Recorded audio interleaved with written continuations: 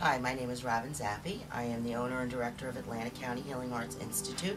We are a massage, bodywork, and somatic therapy vocational school. We are here today to talk about the benefits of massage therapy. This is Joseph. He is a therapist. This is one of our students in class. Her name is Terry. And Terry right now is um, experiencing how massage therapy actually feels so that when she implements it into her practice, she can understand um, the depth that she can go and how actually it feels on herself for what she's doing. So the benefits of massage therapy are to promote the circulatory system. It is like taking a four mile brisk walk, so it's very good for your cardiovascular system, circulatory, lymphatic. Um, we, with massage therapy, our intent is a therapeutic approach. We are now considered an adjunct to traditional medicine. We have been approved by the New Jersey State Board of Nursing for massage, bodywork, and somatic therapy. We are currently going into licensure, and we would just like to speak about the benefits of massage. In today's day and age, we all have an enormous amount of stress.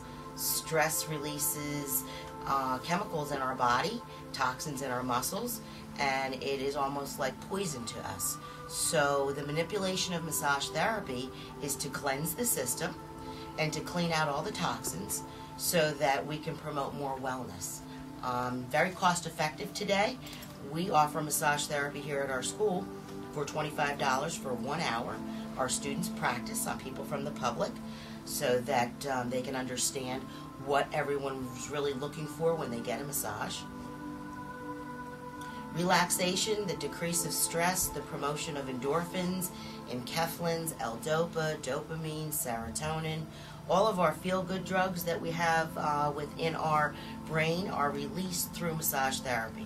So it's extremely beneficial um, mentally and physically, and of course it feels good as well. So it's nice to um, relax for an hour and let your body go through a four-mile brisk walk and I would suggest that everybody get a massage.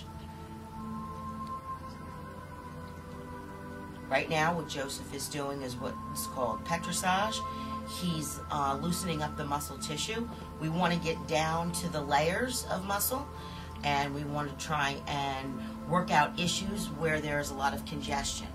Most people get congestion in their back, in their upper neck, um, and in their in their low back. So we try and assess each person that comes in for a massage, design a treatment plan that's beneficial for them, so that each and every individual person that receives a massage, the treatment is individualized to themselves.